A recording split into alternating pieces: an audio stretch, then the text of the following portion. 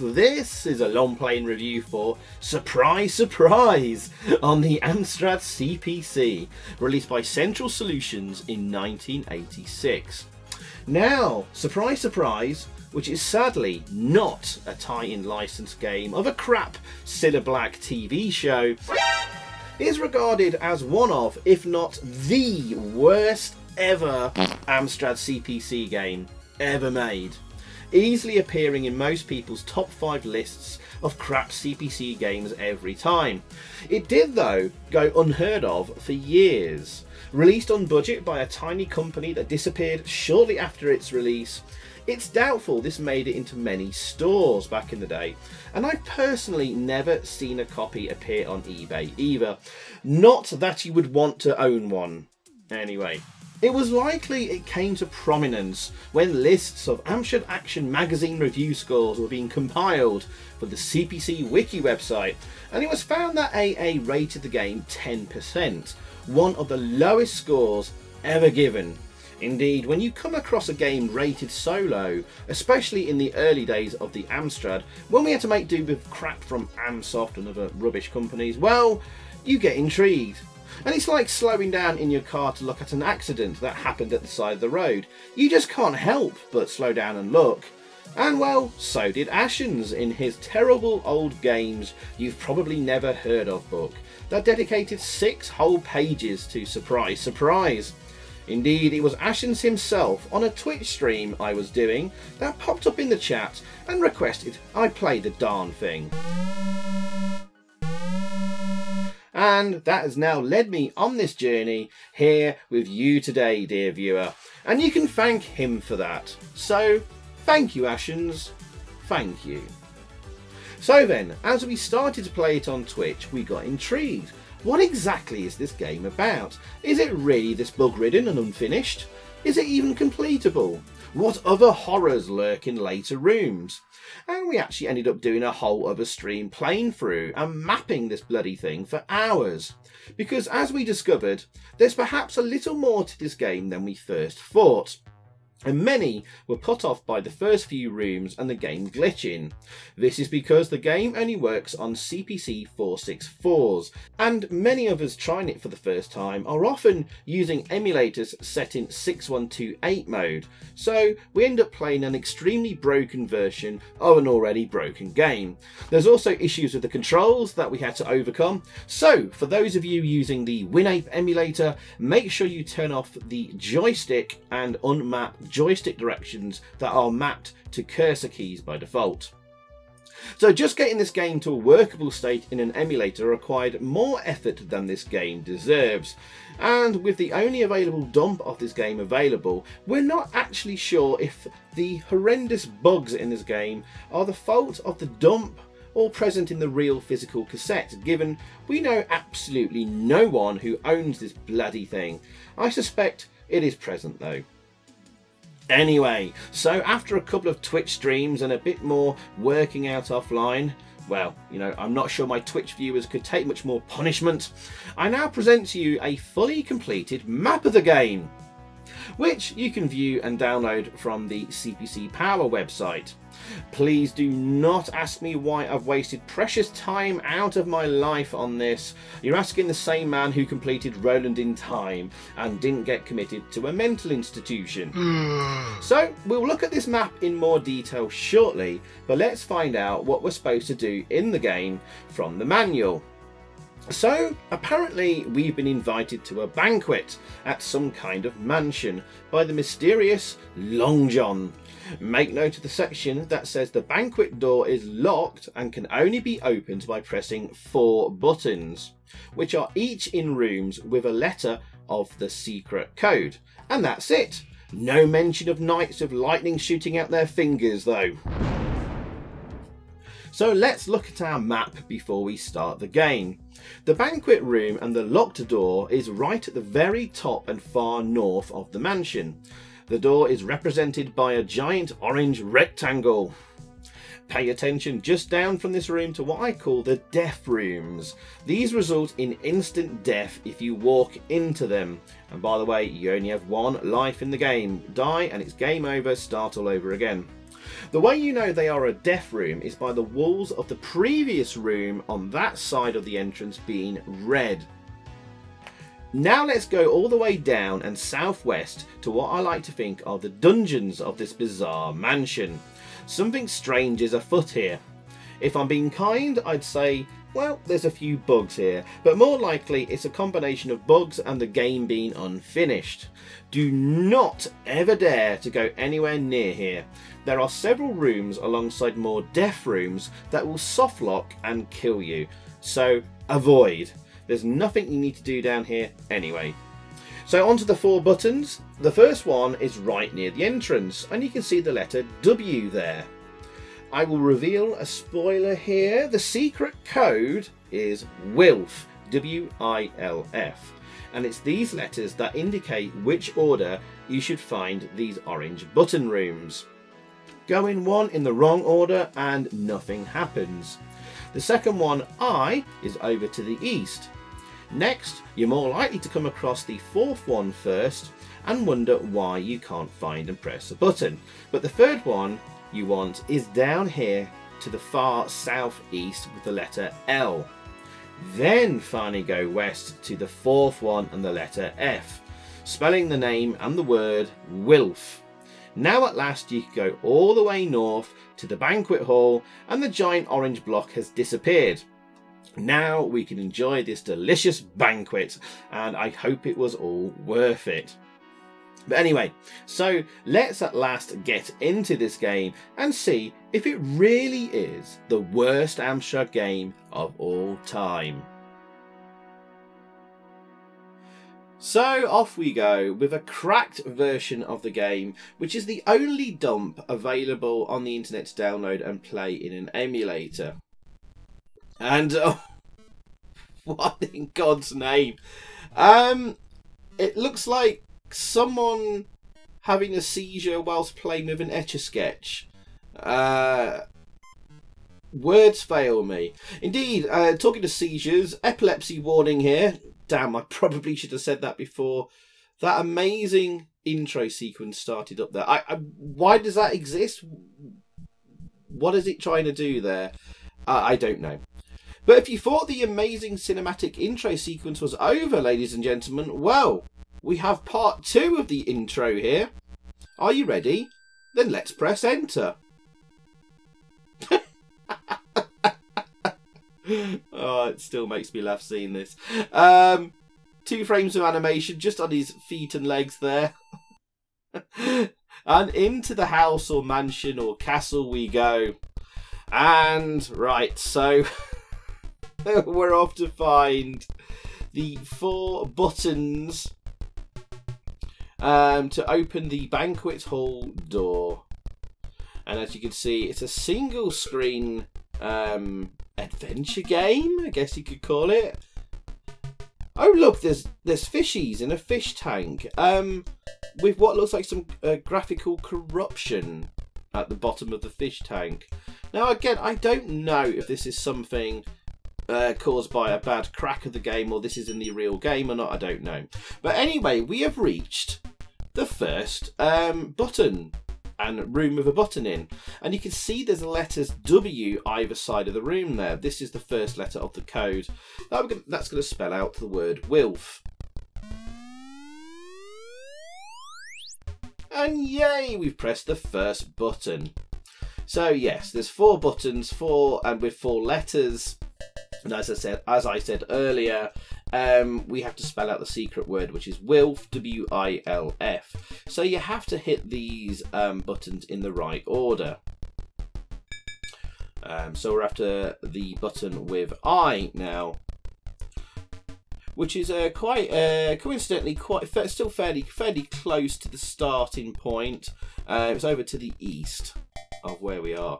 So um, if you, you may want to follow along with the map I made, there'll be a link in the description to uh, view and download the map.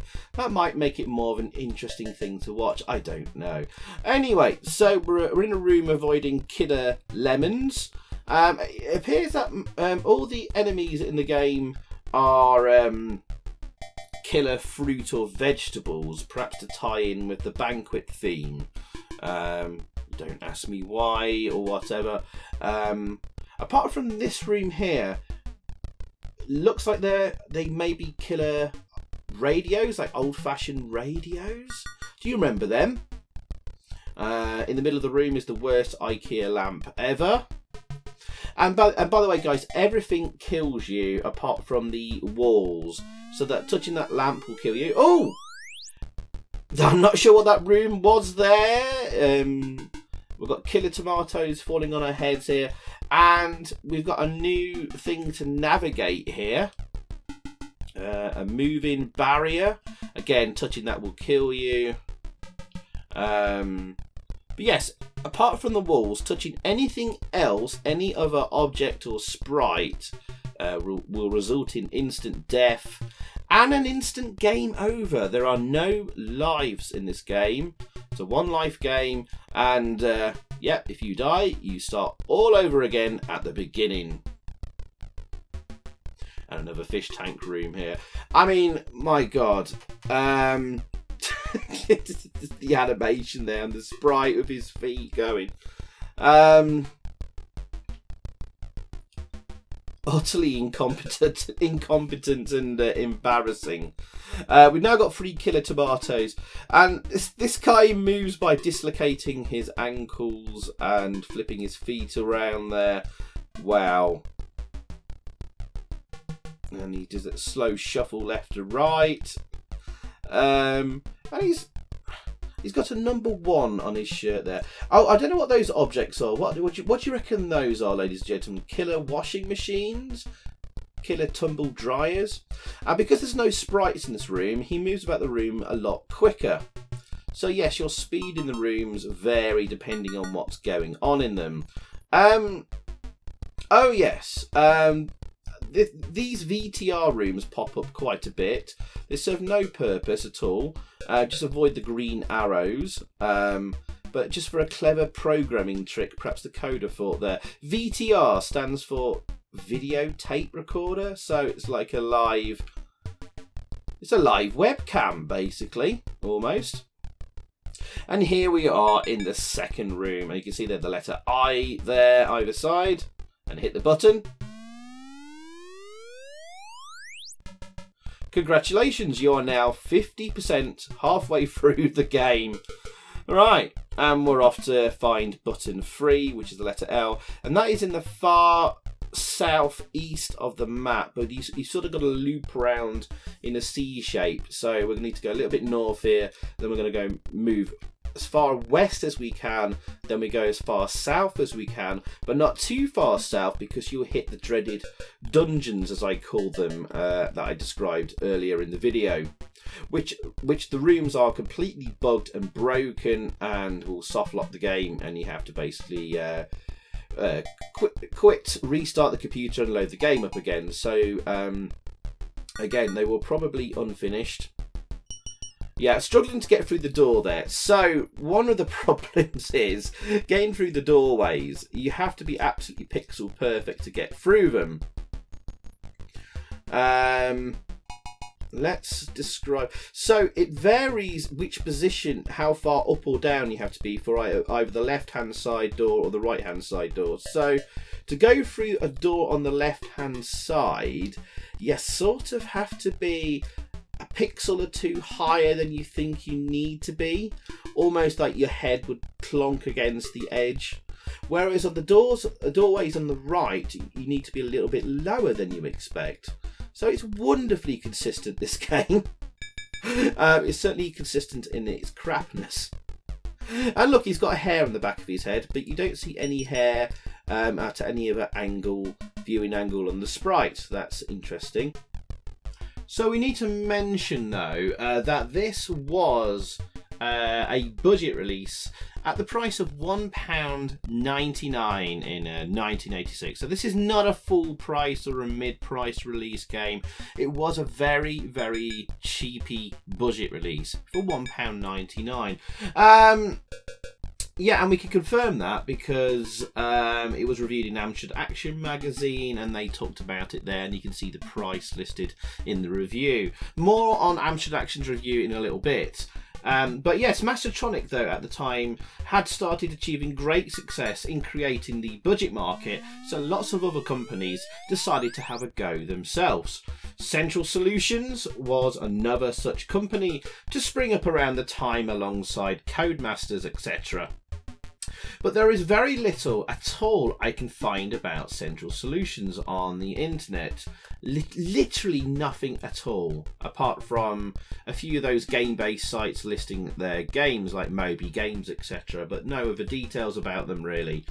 Um, I mean, we only know of their name here from it being on the cassette sticker. Their name isn't even on the box art anywhere or manual, which is a bit odd. Um, but they did release two other games on the Amstrad. There was a simple shoot 'em up called Barchu. I'll talk about that in a little bit. And a text adventure game called Mansion, which I've not tried, but uh, I assume it's pretty boring and crap. They also released a small number of games on the uh, Speccy and C64, with a total of about seven games released across all systems between 1984 and 1986 before they just disappeared into thin air. But um, Artistry Recordings London is also mentioned in the manual. Uh, probably as the duplicator and distributor of the cassettes and box art and stuff.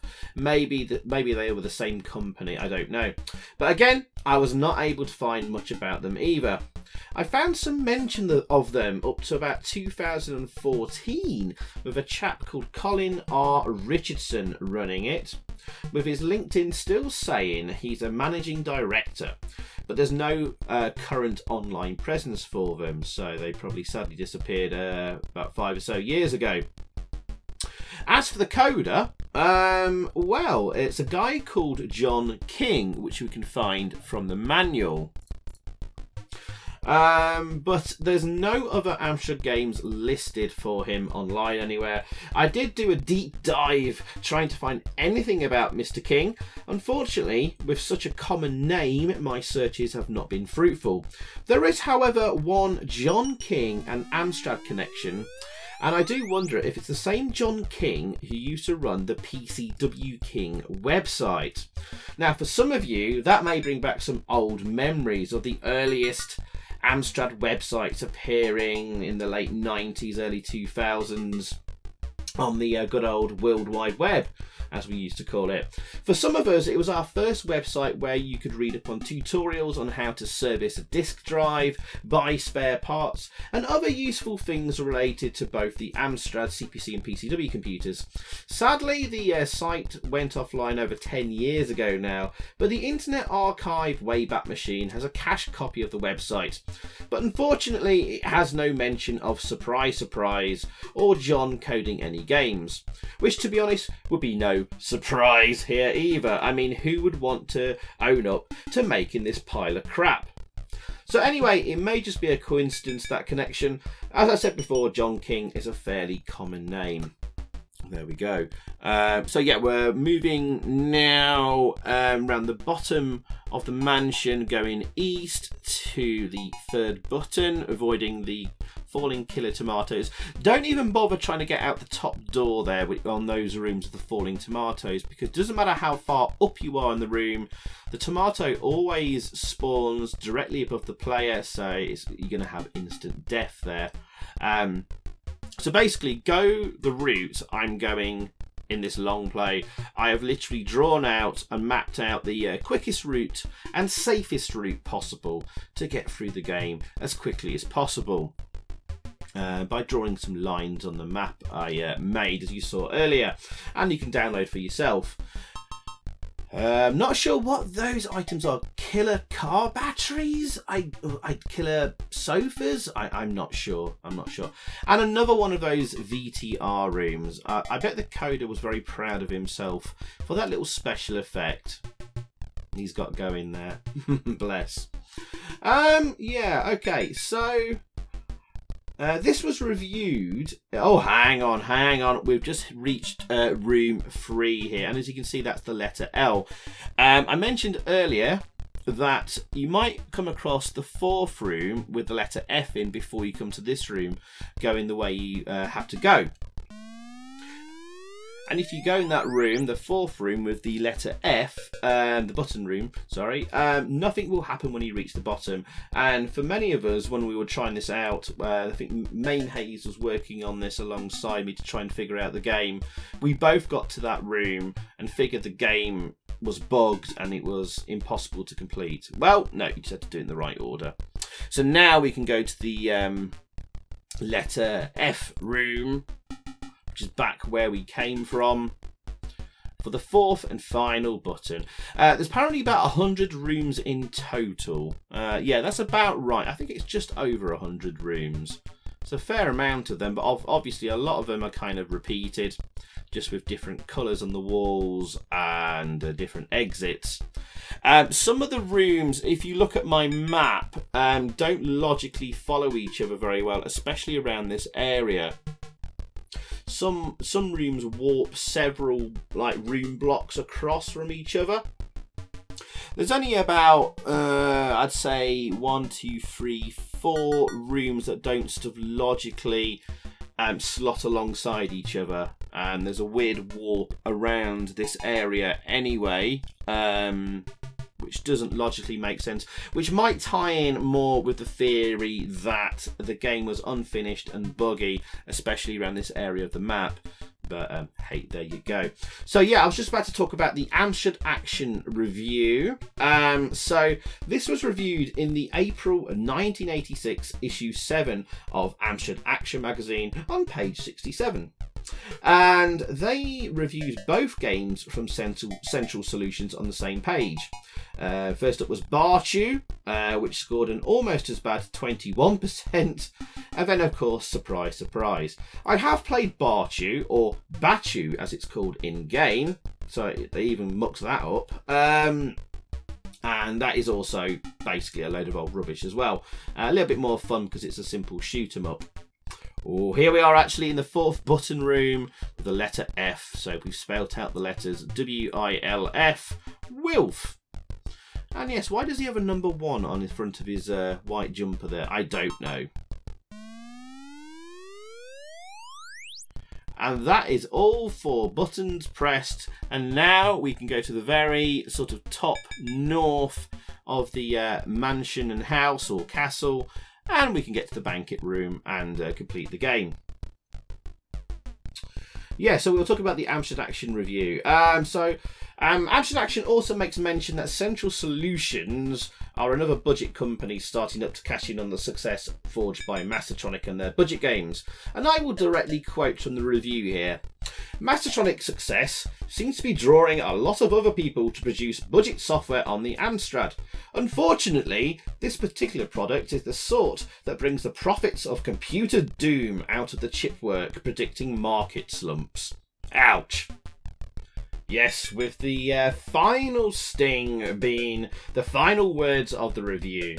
And I quote again It wouldn't load on our 6128. The moral? Buy a 6128. Double ouch. Yes, so there you go. For their ratings, they gave the graphics a whopping 12%, the Sonics 12% again, and the grab factor an 8%, with staying power 9%.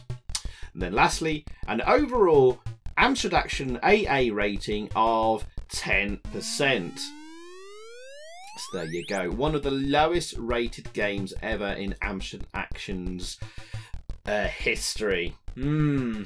Um, anyway, so I'd say on to my review. And uh, let us first answer the question of Is this the worst Amstrad game of all time? The answer, after playing it through to the end and some deliberation, is no. Um, I think there's actually worse games on the Amstrad.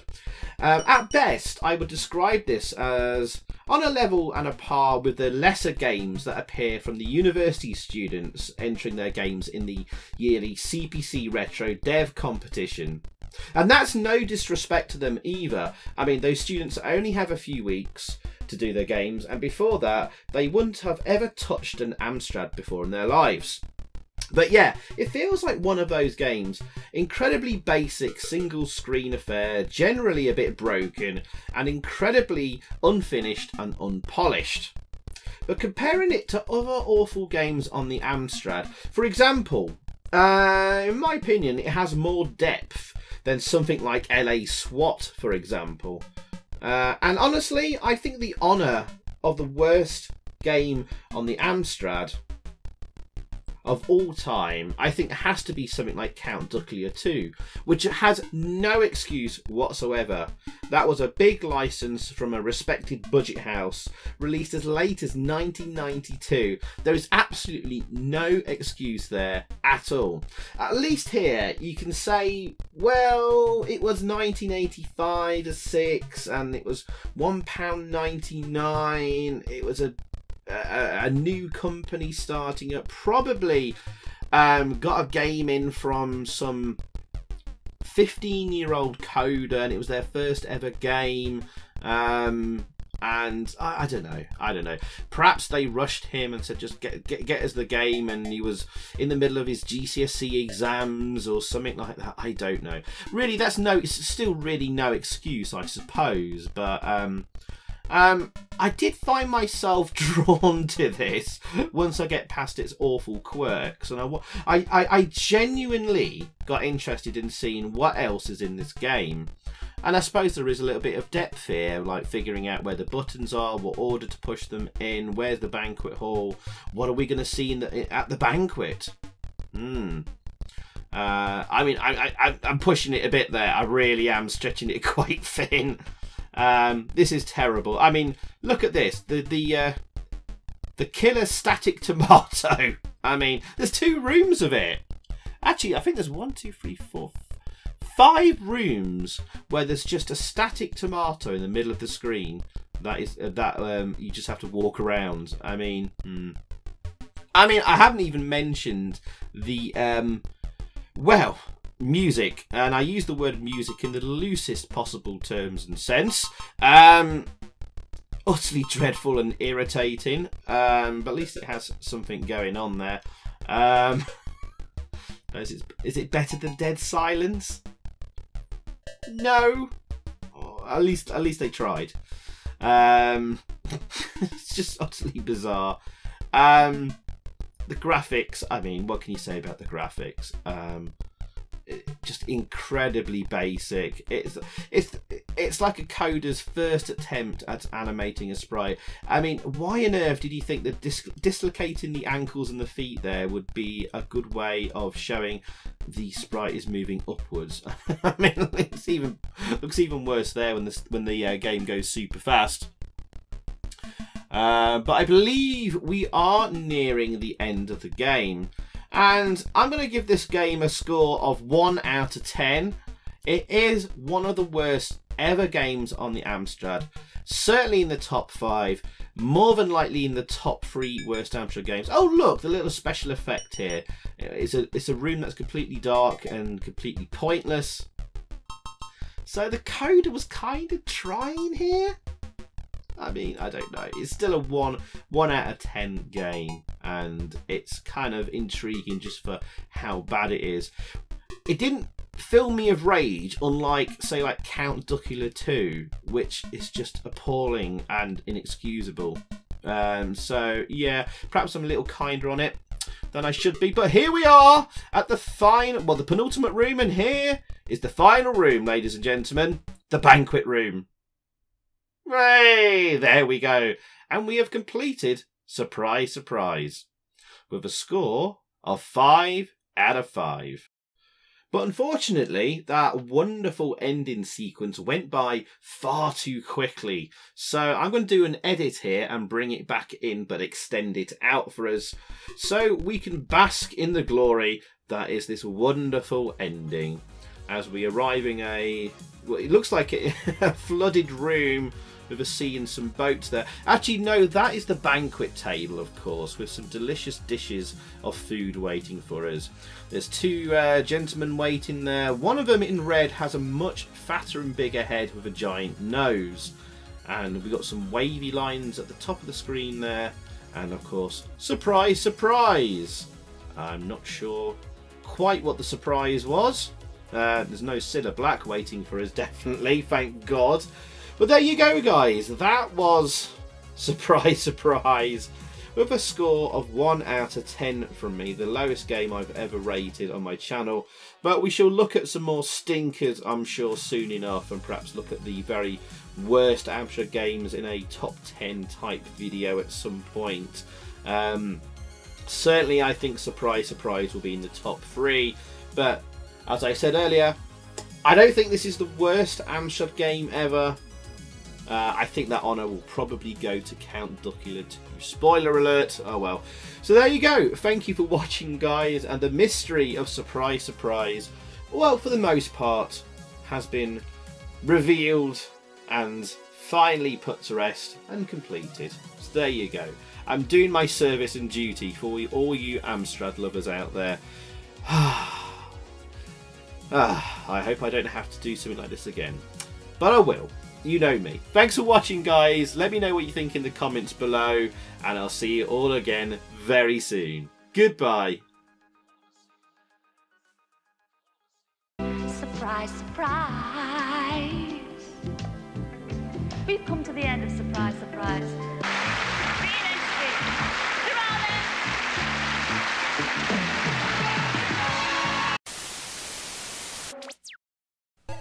So thanks for watching guys, I hope you enjoyed that. If you did, please click a like below, leave a comment and also subscribe if you haven't already. And over that way, there's another video for you to check out. Xyphoe, out.